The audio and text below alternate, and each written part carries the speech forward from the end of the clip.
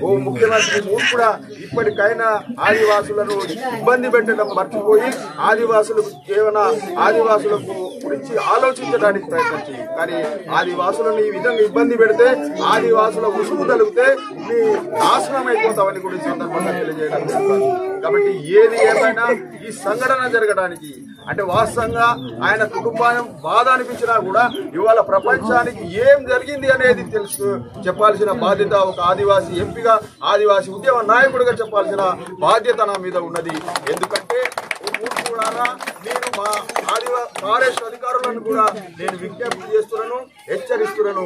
ఇప్పటికైనా మీరు మారిపోండి మారిపోకపోతే ఇలాంటి సంఘటనలు జరుగుతాయి. కాబట్టి మీరు తప్పనిసరిగా ఆదివాసులను ఇబ్బంది పెట్టకుండా ఆది అడవిని మీరు కాపాడండి. మేము కాదంటలేము కానీ ఆదివాసులను ఇబ్బంది పెట్టి అరే మూర్ఖులారా మీకు కొంచెమన్నా బుద్ధి జ్ఞానం ఉండాలా? మాకు బావి బావితోటే అలా లేటరింగ్ చేస్తున్నారా ఫారెస్ట్ అధికారులు? సిగ్గు ఉండాలా కొంచెమన్నా ఫారెస్ట్ అధికారులకు. ఈ ముఖ్యమంత్రికి సిగ్గు ఉండాలా? ఓ బావి ఇది అయితే చెలిమె తీస్తే కూడా యూరిన్ లాట్రిన్ చేస్తారట. ఇంత మూర్ఖులు మీరు మనుషులా గాడులా కనీసం ఆదివాసులు అంటే మనుషుల్లాగా చూడండి. ఆదివాసులు టోటల్గా వాళ్ళను జంతువుల్లాగా చూడకండి. ఆదివాసులు తిరగబడితే ఏ ప్రభుత్వాలు కూడా ఉండలేదు. తప్పనిసరిగా ఆదివాసి సోదరులందరూ కూడా తిరగబడతారు. ఇప్పటికైనా ఫారెస్ట్ అధికారులు మీ వైఖరి మాట్లాడాల?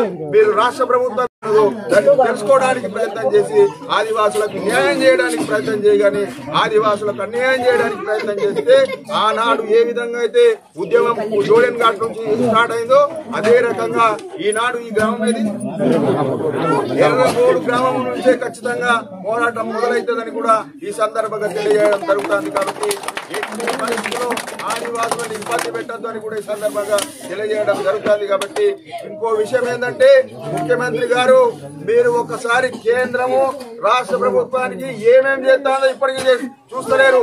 కనీసం వేరే వాళ్ళు చూడకుండా ఆదివాసుల గురించి ఆయన ఆలోచించండి. ఆనాడే కేంద్ర ప్రభుత్వం గుర్తికోయలు ఎవరైతే ఉన్నారో వాళ్ళకు అన్ని విధాల సౌకర్యాలు కల్పించాలని అన్ని విధాల సౌకర్యాలు కల్పించాలని నేషనల్ నందకుమార్ సాయి గారు మీకు లేఖ రాయడం జరిగింది. మీకేమనం కావాలంటే కూడా మేము ట్రైబల్ అడ్వైజర్ కమిటీ ద్వారా మీకు సాయం చేస్తామని కూడా చెప్పడం జరిగింది. కానీ ఈ మూర్ఖుడు దాన్ని చదవడు. కాబట్టి ఎస్టీ సర్టిఫికేట్ కూడా ఖచ్చితంగా గుత్తి కోయాలకు కోయలకు ఇవ్వాల్సిందే గుత్తి కోయాలకు ఎస్టీ సర్టిఫికేట్ ఇచ్చే వరకు పోరాటం చేస్తామని కూడా ఆదివాసుల తరఫున పోరాటం చేస్తామని కూడా ఈ సందర్భంగా తెలియజేయడం జరుగుతుంది. కాబట్టి ఎట్టి కూడా అధికారులు ఎవరు కూడా గుత్తి కోయలు ఒకవేళ ఎస్టీ సర్టిఫికేట్ కోసం అప్లై చేస్తే వాళ్ళకి ఇవ్వకపోతే వాళ్ళ కోట్లకు వస్తుందని కూడా సందర్భంగా తెలియజేయడం జరుగుతుంది. కాబట్టి ఎట్టి కూడా ఆదివాసీ తెలంగాణ రాష్ట్రం ఆదివాసీ ప్రజలందరూ కూడా గుర్తిపోయేలా కొత్తగా మేము పూర్తిగా మద్దతు ఇస్తున్నాం. ఏది ఏమైనా ఆ సంఘటన జరగకుండా జరిగింది కానీ ఆయన ఆయన తప్పులు చేయడం వల్లే జరిగింది అని కూడా నాకు సందర్భంగా తెలియజేయడం జరుగుతుంది. ఒక ఇద్దరు అక్క ఒక అక్కదేమో చెయ్యి ఇరుగొట్టిండు ఇంకో అక్కదేమో కాలు ఇంకో ఇంకా ఏమో ఏం చేసిండు? ఒక చిన్న పాప సిక్కుండాల ఫారెస్ట్ అధికారులకు కొంచెమన్నా. చిన్న పాప నాలుగైదు నాలుగైదు సంవత్సరాల పాపను బెల్ట్ తోటి కొట్టారు.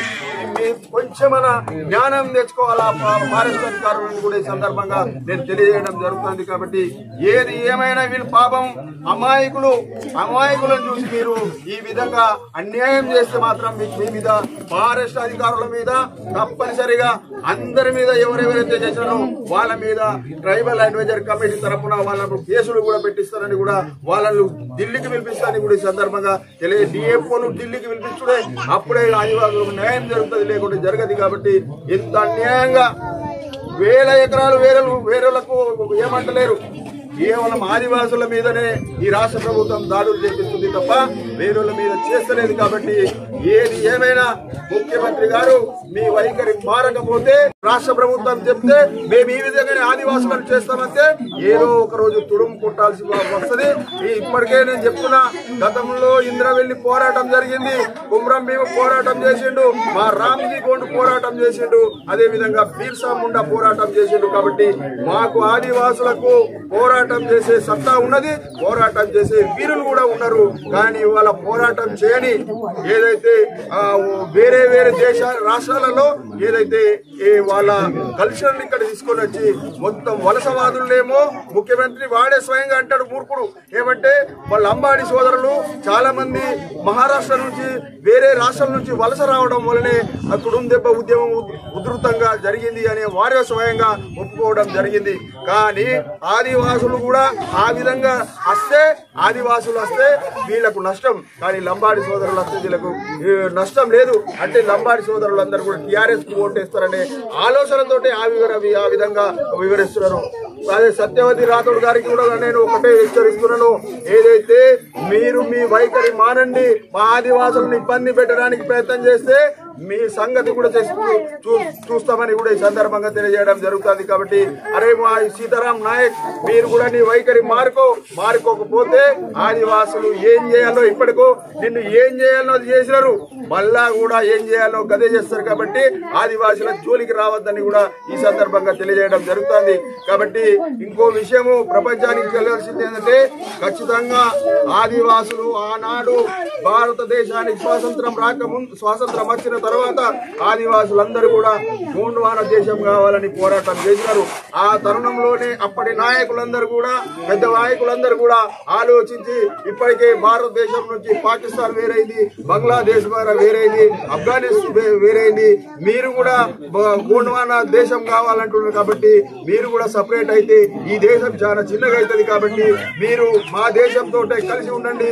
మీకు కావాలంటే మీకు ఏమన్నా సపరేట్గా మీకు చట్టాలు మీకు ఇస్తాం ఇస్తామన్న ఉద్దేశం ఒప్పందం ప్రకారమే ఆనాడు ఐదవ షెడ్యూల్ ఆరవ షెడ్యూల్ ఆదివాసుల కోసం కేటాయించడం జరిగింది. ఓ ముఖ్యమంత్రి ఇప్పటికైనా ఐదవ షెడ్యూల్ ఈ ఆ ప్రాంతంలో ఉన్న ఐదవ షెడ్యూల్లో ఏమున్నదో మీ నీకు సమయం లేకపోతే నీ అధికారు నీ అధికారులతోటి తెలుసుకొని ఐదవ షెడ్యూల్లో తెలుసుకోవడానికి ప్రయత్నం చేసి ఆదివాసులకు న్యాయం చేయడానికి ప్రయత్నం చేయగాని ఆదివాసులకు అన్యాయం చేయడానికి ప్రయత్నం చేస్తే ఆనాడు ఏ విధంగా అయితే ఉద్యమం జోడెన్ ఘాట్ నుంచి స్టార్ట్ అయిందో అదే రకంగా ఈనాడు ఈ గ్రామం అనేది. ఎర్రగోడు గ్రామం నుంచే ఖచ్చితంగా పోరాటం మొదలైతుందని